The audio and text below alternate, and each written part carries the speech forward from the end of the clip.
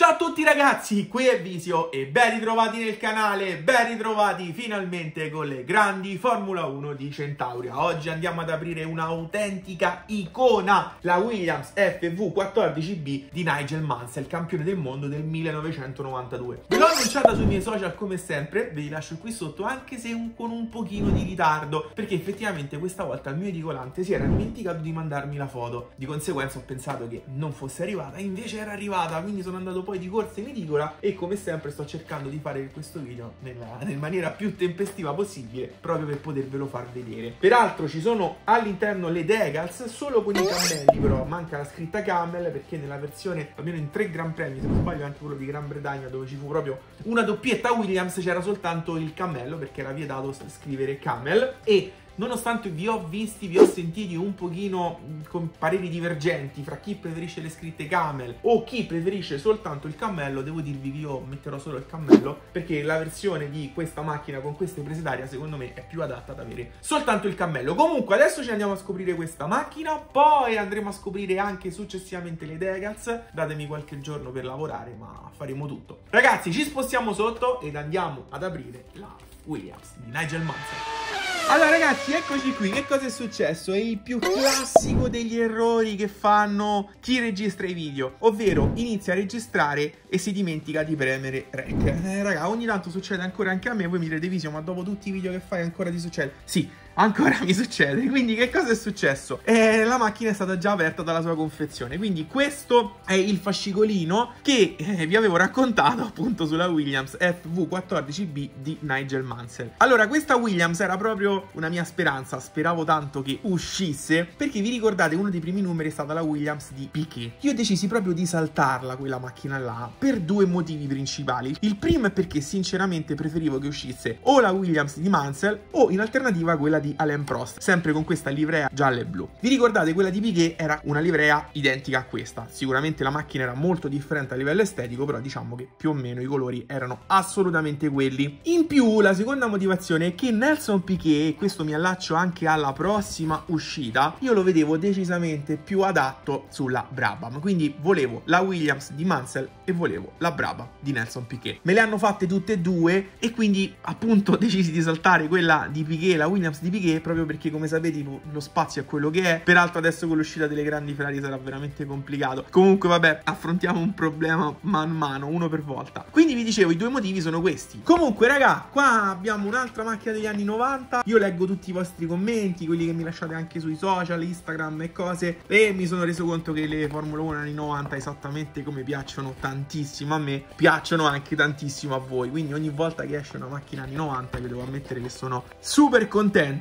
e di conseguenza, insomma, metterne un'altra nella collezione poi vicine sono veramente clamorose. Guardate qua che spettacolo che è questa macchina. Peraltro mi riallaccio al discorso che facevo inizio video delle decals de della Camel. Vedete in questo caso abbiamo la scritta Camel, ho visto che tanti di voi le preferiscono, però sinceramente secondo me su questa macchina ci stanno bene quelle solo con il cammello e sono quelle che poi fra qualche giorno andremo ad attaccare. Vabbè raga, qua nel 1992 il mondiale di, del Leone d'Inghilterra, quindi devo dirvi che non ci sono molte cose da dire, sono sicuro che saprete già tutto quanto. Allora, nella confezione, in questo momento già me ne sono perse, peraltro le avevo tolte le decals, eccole qua, sono comprese le decals appunto del cammello che andremo ad attaccare prossimamente. Fateci attenzione, sono sotto la scatola, peraltro la mia nella busta stavano anche andando un po' in giro, quindi mi sono affrettato a toglierle per evitare che si piegassero. Va bene, allora adesso mettiamo il cartone per evitare che mi, mi scappa il taglierino e taglio il tavolo ed andiamo ad aprire la nostra Williams. Allora, primo taglio andato, secondo taglio malissimo, sono andato fuori. Poi andiamo a fare il terzo taglio e infine il quarto. Allora, raga, ho visto le foto, eh, ho avuto modo di vedere le foto che sono state postate in giro per la rete. Questa è una macchina clamorosa. Ok, togliamola dalla plastica. Ovviamente compresa della plastica questa bruttissima che la circonda. Allora, chissà se nelle grandi Ferrari sarà compresa ancora questa plastica. Io francamente mi spero di no, perché ogni volta andare a svidare è una vera rottura. Peraltro ho sempre paura di spanare la vite, quindi insomma non è una cosa che faccio molto volentieri, io preferisco tenerla direttamente sulla base. E come vi dicevo, le grandi Ferrari non lo so se ci sarà questa plastica, perché essendo munite di teca già di loro, la speranza è solo che non arrivino le teche rotte, diciamo, una grande paura quella. Però insomma, se la tolgono questa plastica e mica sarebbe male. Allora io direi che prima di analizzarla facciamo una cosa, togliamo subito la plastica brutta, così poi ce la guardiamo per bene. Allora, pronti e andiamo a svidare la nostra FV14. Allora, come vi dicevo, ho visto alcune foto ed è bellissima questa macchina quindi visto che è piaciuta poi proprio a tutti all'unanimità sinceramente non ho letto neanche un commento negativo a proposito di questa Williams quindi insomma ha davvero messo d'accordo tutti. Allora togliamola. Eccola qua. No, questo lo possiamo qui. Eccola qua, ragazzi, Williams FV14B Nigel Mansell. Allora, devo dirvi, ho già visto diversi dettagli, guardate che spettacolo questo dell'estintore, con proprio la leva che si poteva tirare. Poi ci sono anche i rivetti che sono stati realizzati abbastanza bene. Qui purtroppo abbiamo una sorta di spaccatura, vedete? Sia qua che di qua c'è questa sorta di spaccatura. Adesso io non ho proprio perfettamente in mente l'originale, però non credo ci fosse questa spaccatura così evidente, però potrebbe anche essere perché comunque il cofano motore magari si staccava solo su questa parte, non lo so, però credo che sia più un difetto di fabbricazione, quindi vedete si vede un po' che non è perfettamente allineata la pancia laterale con il cofano motore. Comunque, visto che ci siamo, andiamo a guardare l'interno della macchina, abbiamo le decals delle cinture, vediamo anche, guardate lo sterzo ragazzi, si intravede qui la camera va un po' a coprire. Guardate un po'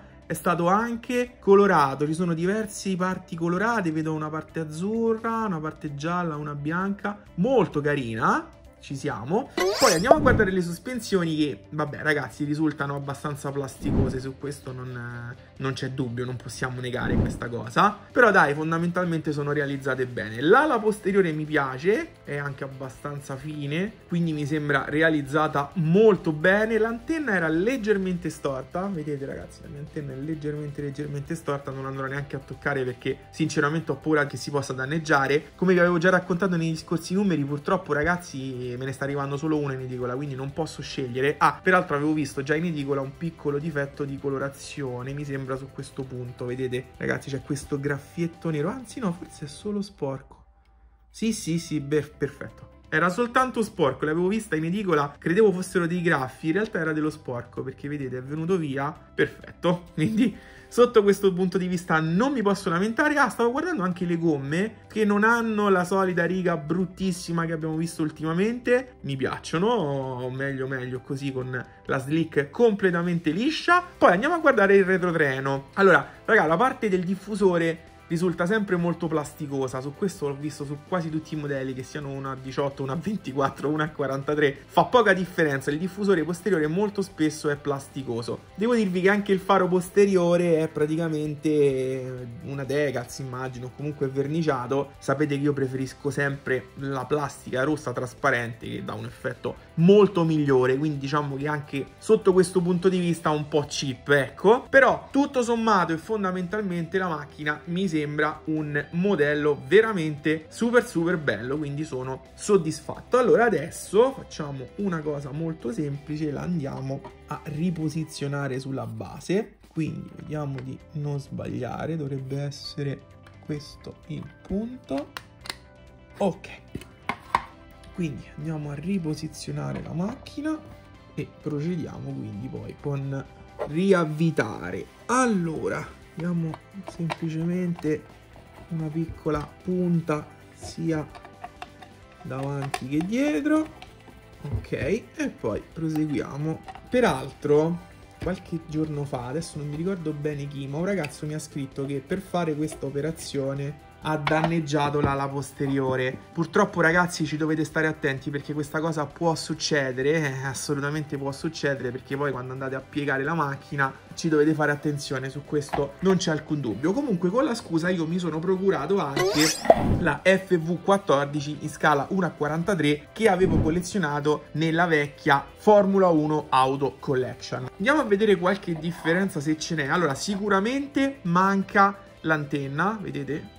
Priva di antenna, questa è scala 1 a 43. Per il resto devo dirvi che mi sembra molto simile. Sicuramente guardate come è più plasticosa l'ala anteriore, guardate come è fatta meglio questa di scala 1 a 24. Per il resto le macchinine mi sembrano abbastanza in linea. Anche la parte posteriore, vedete? Con il rosso proprio similissimo, il farino rosso similissimo a quella 1 a 24, quindi diciamo che il modello si somiglia davvero tanto. Una differenza però che possiamo assolutamente notare è per quanto riguarda la presa d'aria. Vedete come questa presa d'aria è aperta sulla pancia laterale, mentre invece qui sulla 1.24 è completamente chiusa. Questo è un dettaglio peraltro in più che mi ha fatto pensare che secondo me la cosa migliore era proprio mettere le decals con il cammello normale, va bene? Non la scritta camel, mentre invece questa con le prese d'aria aperte forse è meglio con la scritta camel proprio, va bene? quindi questi sono dettagli, sapete che poi alla fine chi colleziona sta attento a capire se la macchina può essere riferita a qualche gran premio nello specifico, di conseguenza, seppure devo ammettere che la scritta camel è più bella, però secondo me è meglio mettere soltanto il cammello. Comunque adesso andiamo ad aggiungere la teca, che come sempre vi ricordo ho preso da Model Car di Pietro, lo potete trovare su Facebook ma anche sul video che vi lascio qui sopra, lì troverete il link a solo 4 euro, quindi dai,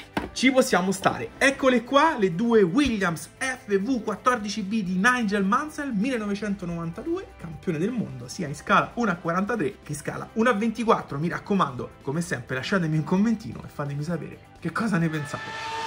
E dunque cari ragazzi, anche per questo video è davvero tutto. Io come al solito vi invito ad iscrivervi al canale, premere sulla campanellina per restare sempre aggiornati su tutte le nuove uscite. E se questo video vi è piaciuto lasciate un like bellissimo come questa Williams. Mi raccomando, fatemi sapere se avete preso anche voi questo modellino, se state continuando la collezione. Lasciatemi sempre un bel commentino qui sotto. Io vi do appuntamento con due episodi. Il primo con i cammelli delle camel, delle sigarette che andremo a attaccare in un nuovo Time to Decals e poi ci rivediamo fra due settimane quando arriverà la brava di Nelson Piquet. Assolutamente da non perdere. Qui da Visio e dalla Williams di Nigel Mansell è davvero tutto. Io vi mando un grosso saluto. Ciao ciao.